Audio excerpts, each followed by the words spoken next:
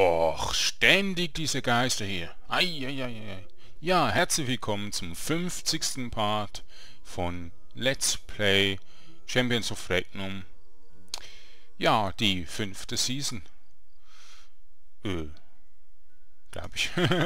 Auf jeden Fall, ja, ein bisschen speziell heute. Ja, eben wegen 50 Parts Spezial. Ich bin ja einer, der macht immer in den Schnapszahlen äh, 33, 66, 99 und dann irgendwie 120 irgendwas.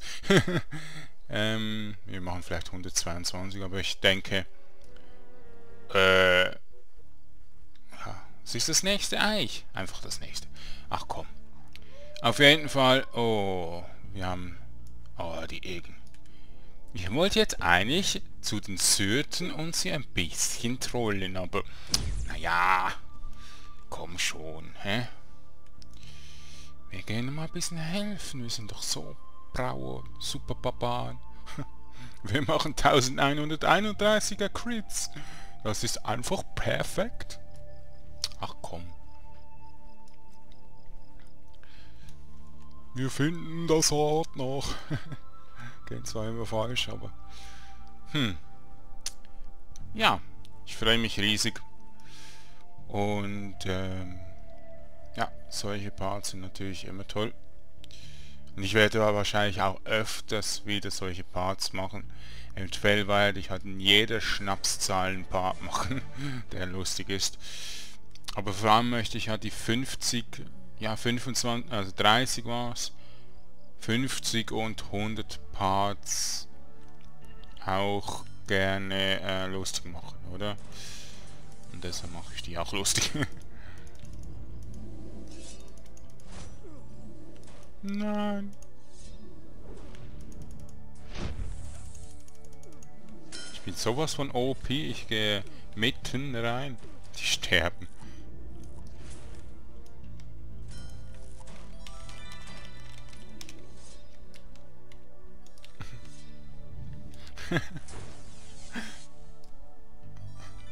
Der Friedhelm.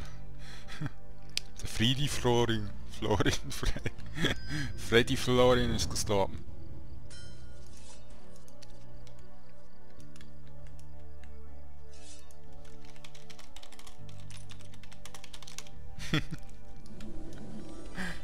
Nein! Gib mir den Ritter, ich möchte ihn! Ach, dieser Feigling haut ab. Hm. Ich muss aber auch ein bisschen abhauen. Was ist jetzt? Ist der AFK. Komm jetzt, Friedi, ich brauche deine Hilfe. Das ist immer so lustig. Ähm, ich habe doch irgendwo diesen... Ich habe ihn nicht dabei, scheiße. Ach komm, wir gehen weg. Wir sind überhaupt noch nicht in diesem Level. Genau, der weiße Wolf tut einfach mal ein bisschen wacken. Ich gehe jetzt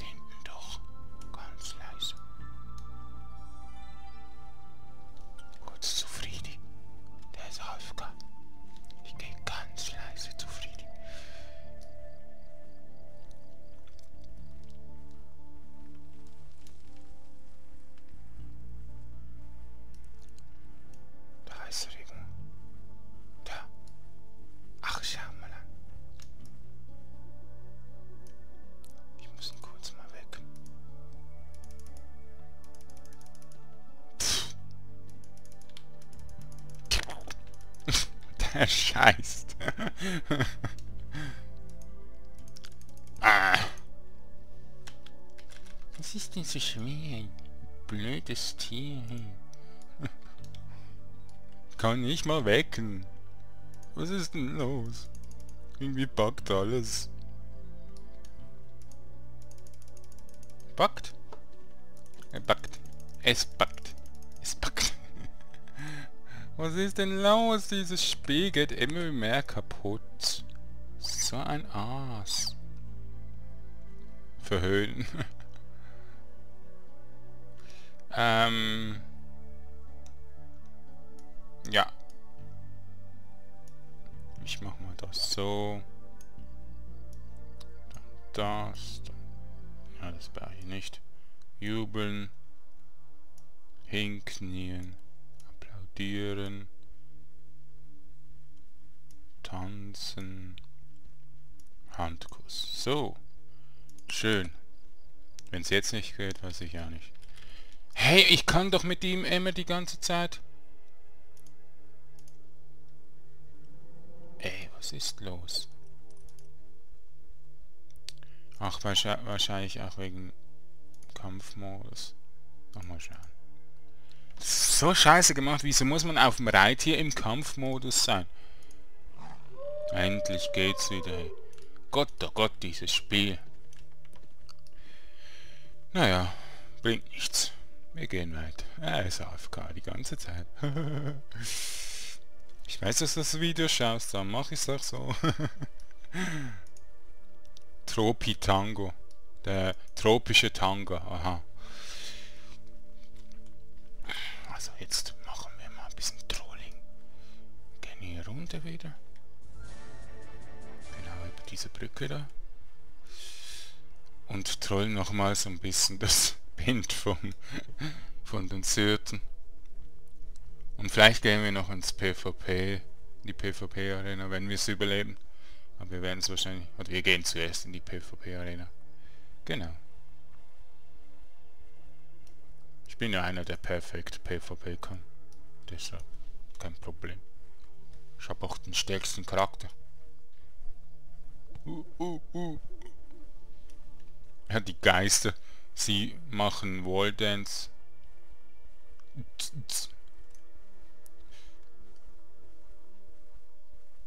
Geist der Ewigkeit. Ewigkeit, dumm.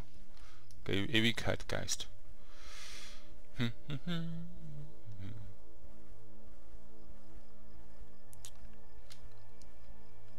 LOL?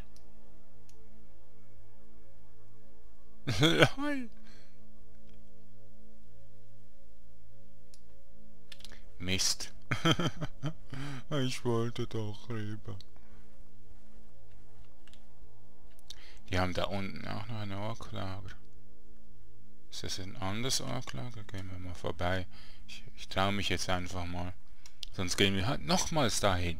Hi! Diese blöden Wall, ähm, Brückenwächter da. Die, die, die, die Wächter der Brücke spielen. Dass man ja nicht vorbei kann.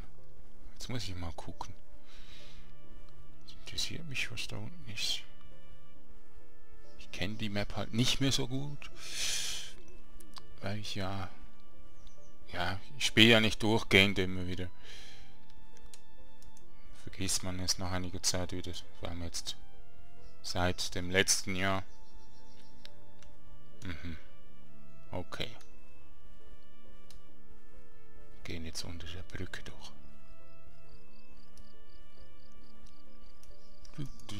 Wir sind ja so ein Barbar, das sich eher auf Assassine spielt. Da müssen wir uns ein bisschen assassinenartig verhalten, ein bisschen Assassin's Creed spielen. Und ähm, ja, was macht so eine Assassine? Hm. Dumm herumreisen. Nein, wer die Spiele kennt, weiß ja so, wie das geht. Aber ich spiele auch noch ein bisschen Ninja, also noch, noch besser. Das Perfekte wäre, wenn es ein Ninja-Spiel gäbe, das wie Assassin's Creed sein soll, aber nicht von Ubisoft ist. So, mh, hat von einem Entwickler auch, der relativ gut äh, entwickeln kann. Also auch die negativen Sachen halt auch mal entfernt. Ich finde, Assassin's, Assassin's Creed hat halt einfach zu viel etwas mit Story zu tun. Man hat immer wieder nur die Missionen, man kann wenig anders machen. Ist ein bisschen blöde. Aber ähm, ja, vor allem das ähm, vor ein oder zwei Jahren aktuelle, jetzt weiß ich nicht, wie es heißt, wo man das, das alte England, da mehr alten England ist. Das fand ich richtig cool. Noch. Aber eben alles nur Story. Die ganze Zeit immer nur Story. Das ist ein bisschen blöd. Die sind gar nicht hier. Mysteriös. Vielleicht müssen wir in die Zukunft wieder. Eine andere Zeit auswählen. Wir sind hier falsch. Auf jeden Fall. Keine Leute hier. Okay. Wir werden jetzt direkt durchs ferne Land, durchs Feindland marschieren und mal gucken. Es ist halt wenig los heute. Wir sind alle in der Ferien, wie immer. wie Tag und Nacht. Hm. Es wird sowas von genial, wenn es klappt mit so vielen Leuten.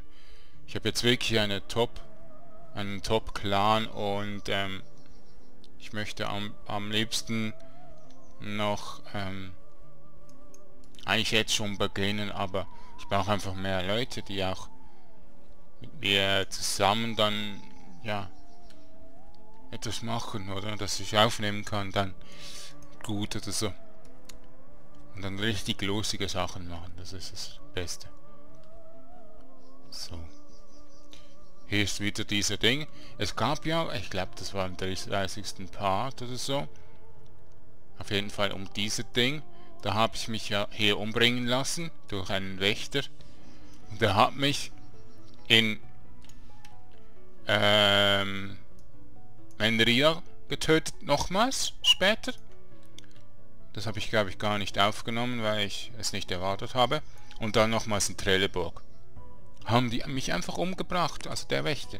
Er war so verpackt. Ich möchte gerne das nochmal produzieren und es nochmal aufnehmen. Also gehen wir nochmals kurz hierhin.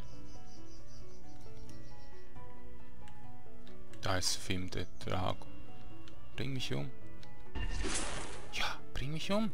Nein, bring mich um. Bring mich um. Bring mich um bringt mich jetzt um. Gut, hoffentlich geht's. Wir reisen jetzt einfach mal wieder zu Manny. Ganz stilvoll. Stil, also stiltvoll. Jetzt geht das Rad hier wieder nicht. Danke. Stilvoll. Lady Mar. Mar heißt doch... Mare heißt Meer. Was heißt Mar? Aber ich glaube nicht auf Sp Spanisch, das ist eher Französisch, oder? Ah nein, das ist Italienisch. Ich glaube, es ist auch Spanisch. Das ist der italienische Mare. Also es ist Französisch und Italienisch. auf jeden Fall... Ja, verstehe ich den Namen jetzt gerade nicht. Mar. Was ist mal?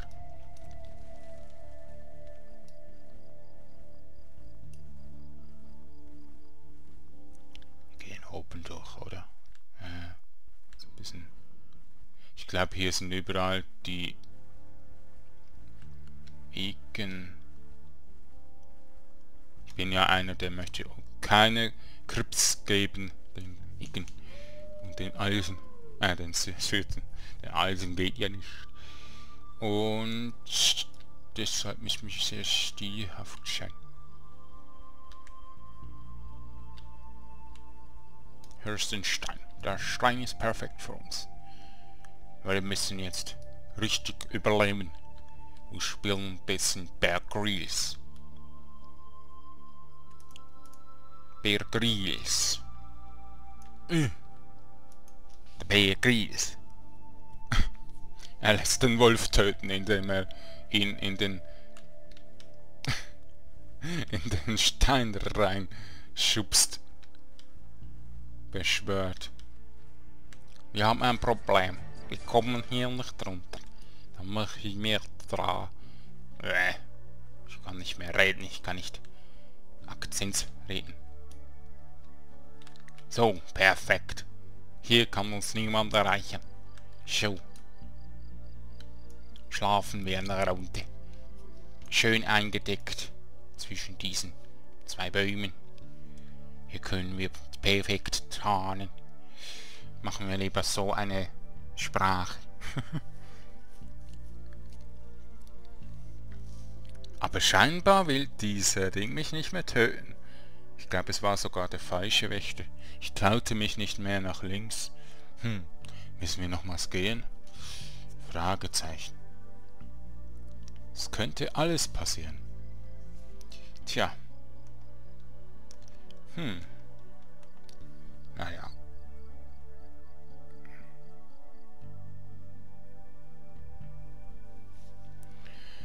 Oh, bah, bin ich müde.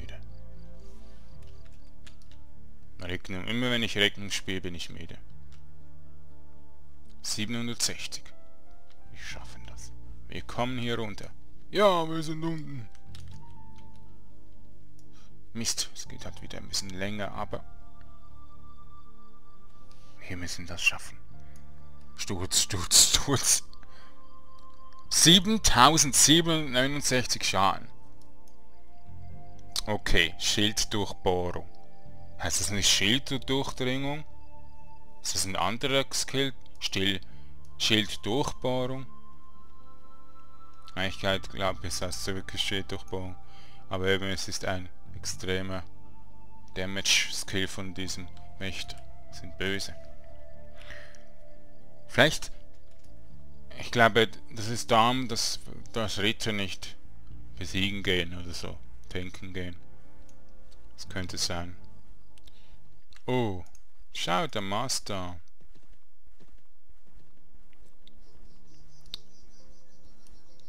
Wir gehen jetzt oben durch. Ich habe Lust.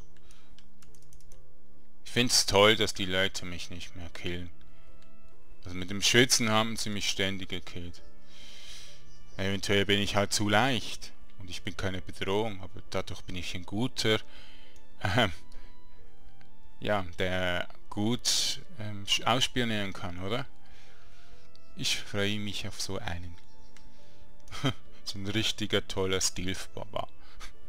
Wieso haben die Barbaren keinen Steve-Skill? Wieso haben nur die Jäger?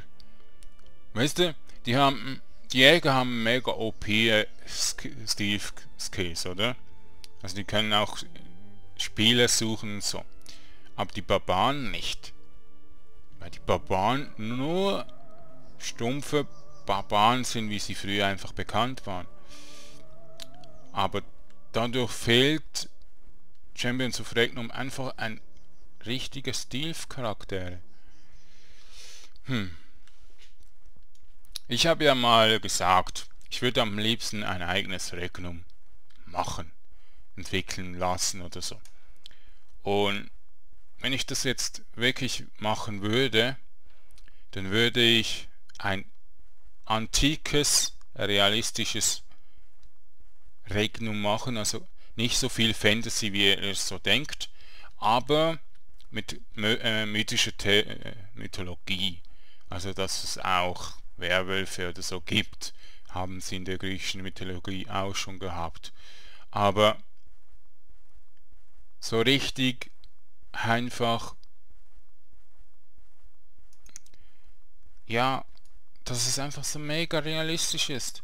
Es muss ja nicht im Kampf oder so so realistisch sein, aber einfach richtig cool sein und ich würde am liebsten das jetzt schon entwickeln, aber ich habe kein Geld, ich habe kein Wissen über Games, also kein, ja, kein Entwicklerwissen sozusagen.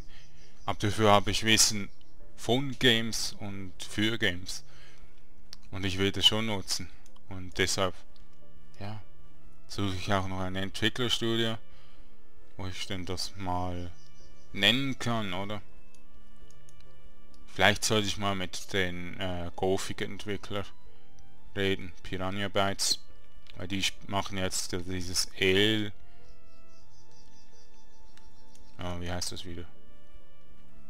Ja, vor allem eben das Nach der Nachfolger von Risen 3 und ähm, Elo oder Elso oder so heißt das.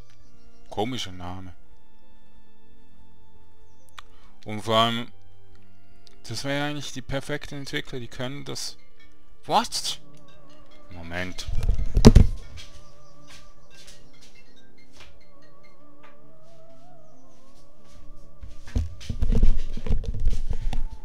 Diese Pfeifen, hey. Rufen mich einfach an. Einfach abschalten. Und solche Pfeifen anrufen. Hm, das sind so ähm, Werbemacher. In der Schweiz sehr bekannt. Dass es einfach zu viele Firmen gibt, die Werbung machen.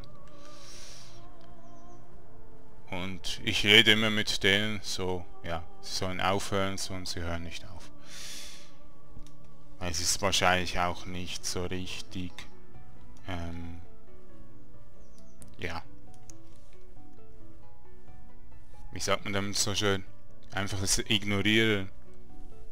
Weil sie ja Geld brauchen. Heutzutage kann man ja nur noch über Werbung Geld verdienen. Das sind so arme Leute. Sklaven der heutigen Gesellschaft. Ja, also. Und so ein, also ein, so ein Spiel, das wäre einfach das Größte für mich. Zum Beispiel PewDiePie macht ja auch Spiele. Also ja, nicht selber auch nicht. Ja, jetzt soll er nicht... Hey, Pfeife. Lass mich doch einfach. Ich werde dich töten. Es ist noch, es ist noch unmöglich. Hey, lass mich. Lass mich. Diese Pfeife.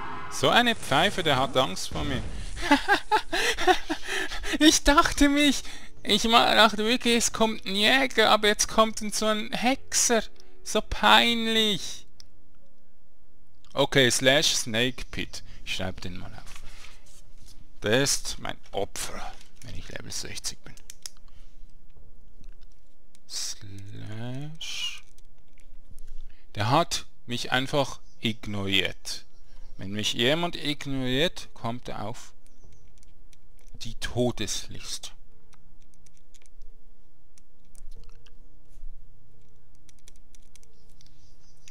Ähm, Tö. Tö. Tet. Hypfer. Prima. So. Das geht nicht, wenn man Höpfer tötet. Man darf Höpfer nicht töten. Die sind wichtig. oh, je, je. Also jetzt möchte ich noch ein bisschen erzählen ähm, über das Spiel, was ich jetzt so denke, was ich denn so gerne hätte machen würde. Also jetzt seht ihr ja die Karte und ähm, ich würde gerne ein Achteck machen und an jeder Ecke würde ich dann ein Reich hintun. Und jetzt zum Beispiel Sparta nehmen, äh, äh, äh, Athen, ähm, Troja und zum Beispiel das, das Volk von Kreta mit dem mit der Pyra äh, mit dem Labyrinth und so. Minotauren-Labyrinth.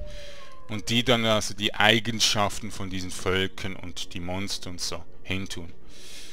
Und danach möchte ich gerne ähm, in der Mitte überall Forts und ja, es können auch Städte, Dörfer und Schlösser sein und ja, Burgen. Und die kann man dann erobern. Die gehören niemandem. Hier gehören sie immer jemandem. Aber im, im, im Gebiet, wo dann die sind an den Ecken, würde ich dann verschiedene Forts noch machen, die natürlich auch denen gehören. Und dann mache ich das so, dass eben man als Krieger sich anmelden muss und nur dann wird man angegriffen. Und ähm, sonst wird man nur überfallen oder so. Und kann natürlich keine Warmwassercoins oder so überbekommen. Also eine Ähnlichkeit. Wenn man nicht isst. Aber wenn man isst Krieger, dann also einfach Soldat, sage ich jetzt mal, dann bekommt man solche eine Art Warmers-Coins und so rüber. Und wenn man sich dann zu einem der Feldzüge aufmacht, aufbricht, bekommt man natürlich noch eine extra Belohnung, wenn man dann zum Beispiel dabei ist bei einer Eroberung und so. Aber diese Feldzüge, die werden nur vom König bzw. vom General ähm, gemacht. Da muss ich natürlich dann alles noch ändern vom Namen her, weil das, was ich jetzt hier abspielt, passt halt nicht. Wir müssen das Antike machen. Und ähm, jetzt haben wir zum Beispiel die, ähm, die Spartaner. Und die haben recht gute Nahkämpfer, also Speerkämpfer. Und haben wie zum Beispiel im Film Troja so richtig gute Boote und Belagerungsmaschinen. Und die kämpfen gegen die Trojaner. Wir machen einfach mal den Film nach. und ähm, ja, dann machen wir das so. Wir gehen nach Troja und wir müssen natürlich das alles taktisch machen. Wenn wir das nicht taktisch machen, dann dürfen wir an der Schlacht nicht mehr teilnehmen. Wenn wir taktisch das machen, dann werden wir belohnt vom Reich, als Großzügiger, als Taktiker und so. Und wenn wir da nicht taktisch sind, werden wir nicht belohnt vom Volk und so weiter. Und das würde dann viel besser einen Krieg darstellen als jetzt zum Beispiel in Regnum. In Regnum ist es so, es gehen 10 Leute zu 10 Leute, da gibt es einen mega langen Kampf, weil alle sich heilen und alles mögliche und es ist relativ langweilig. Aber es macht so viele Menschen einfach glücklich. Darum ist das Spiel überhaupt noch erfolgreich, oder? Und wenn man das schafft, so zu machen, wie ich es jetzt gesagt habe, dann bekommt man wahrscheinlich eine extreme ja, Fangemeinde, oder? Und das, das erhoffe ich auch mit meinen Spielen dann. Ich möchte so viele Spiele wie möglich machen natürlich, aber jedes Spiel immer supporten und weiterentwickeln. Und wenn das Entwickelstudio halt dann mal Geld braucht, dann kann ich ihnen das geben. Aber eben, ich muss ja auch erfolgreich im ähm, Ding sein. Im Sport, oder? Ich bin nun mal relativ unges also ja krank, oder? Ich habe eine Krankheit, also ich habe mehrere Krankheiten. Ich bin einfach ein bisschen schlechter als andere Sportler, aber das heißt ja nicht, ich kann da nicht ein bisschen Geld verdienen. Leider gibt es in der Schweiz keine Behinderten, ja nicht behindert, aber ja, was, wie sagt man einfach diesen, ja, Paraplegix oder so. Da müsste ich eigentlich auch nicht hin, aber wenn es irgendwie eins gäbe zwischen Paraplegix, ich habe ja nichts kaputt oder falsch oder so, ja, ich habe mich jetzt töten lassen, aber ähm, ja, einfach für kranke Leute, die irgendwie ein, etwas haben, Diabetes, Krebs oder irgendwas haben, oder? Es gibt einfach keine solche. Und deshalb komme ich auch nicht viel an Geld. Der Handvieh ist wieder hier. Hallo Handvieh. Handvieh.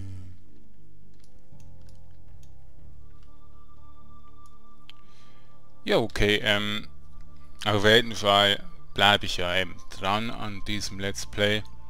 Ich werde 500.000 Parts machen und dann mal schauen.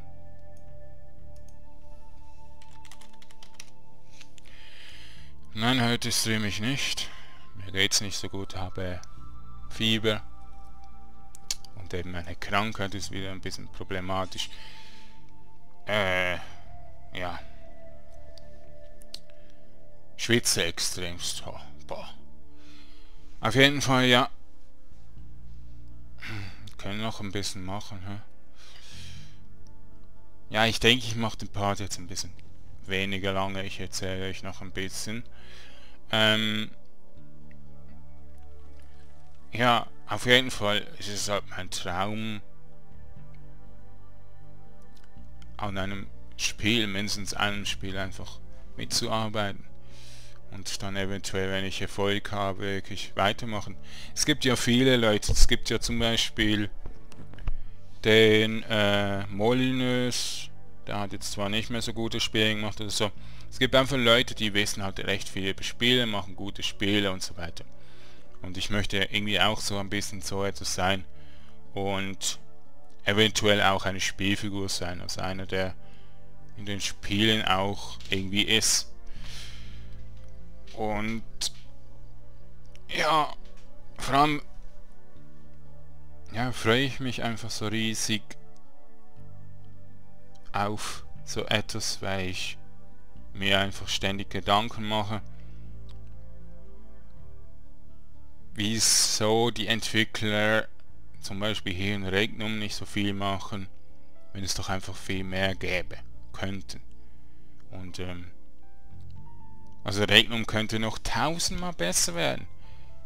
Das würde noch tausendmal mehr ähm, Leute anlocken.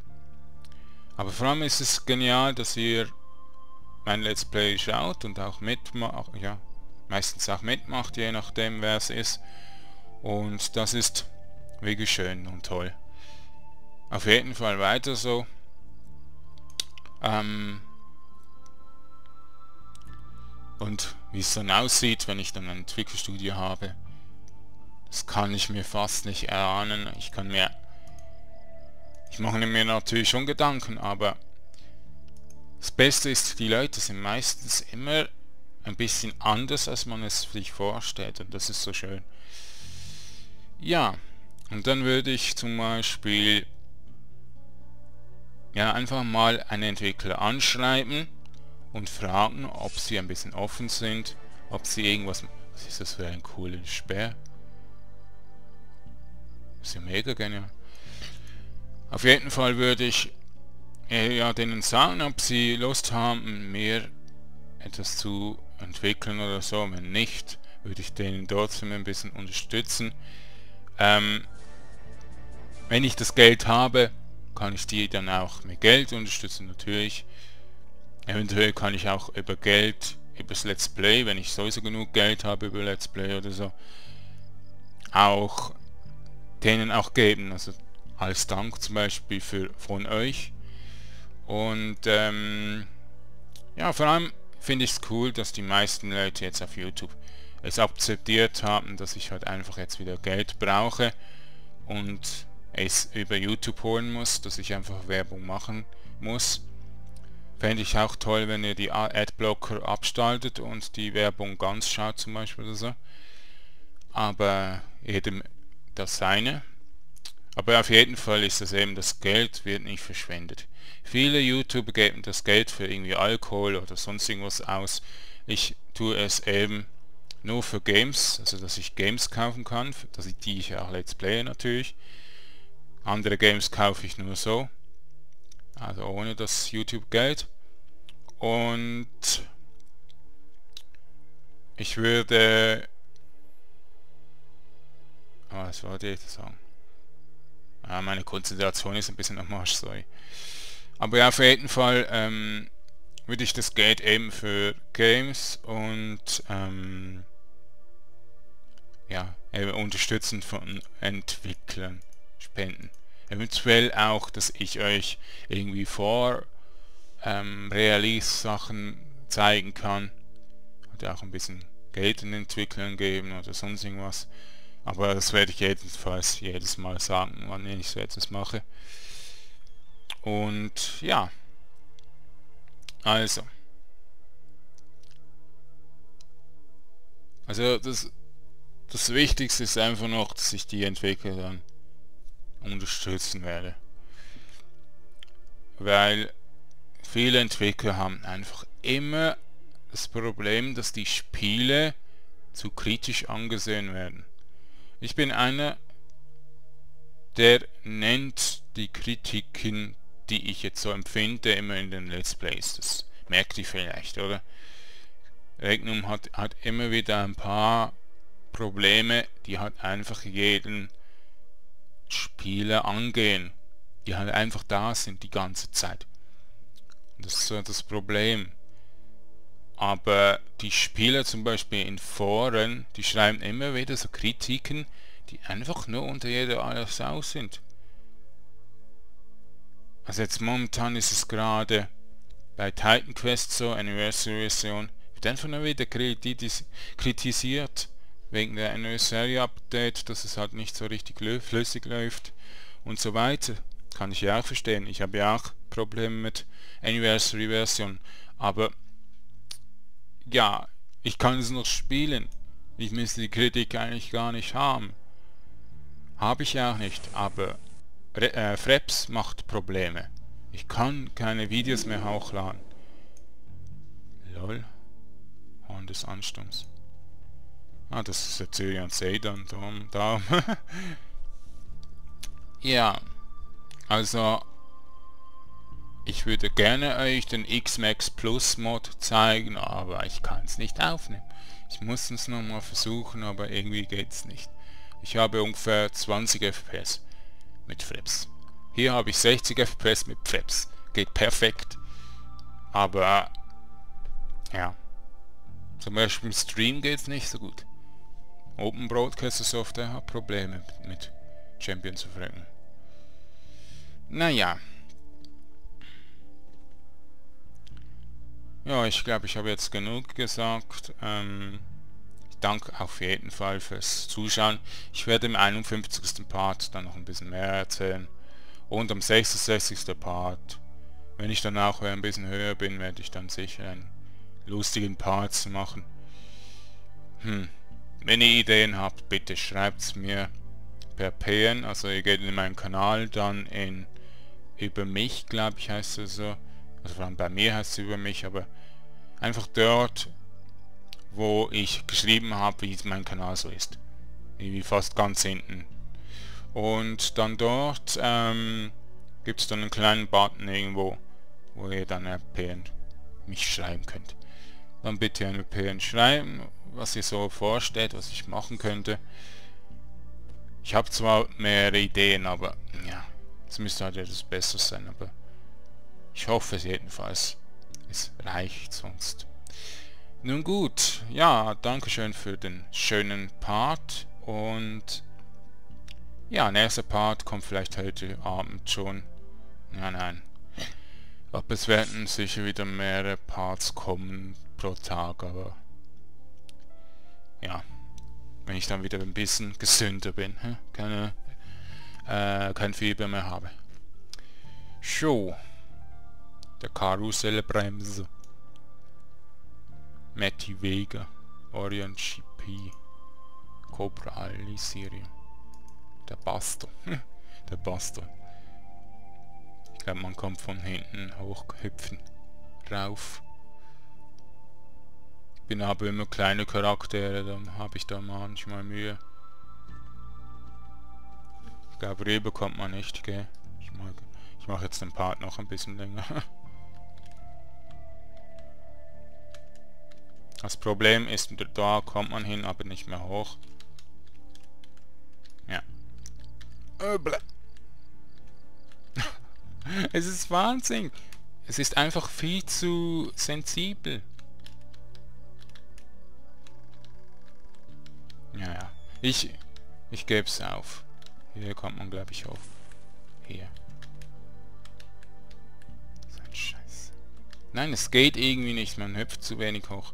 Aber auf jeden Fall, ähm, ja, je nachdem, nach welchem Charakter man nimmt. Nehmt mal ein U, U, U ähm, ja, einfach diese Pelztiere und probiert es selber mal. Könnt auch aus Level 1 Charakter hierher kommen. Also. Dankeschön fürs Schauen. Bis zum nächsten Part. Tschüss.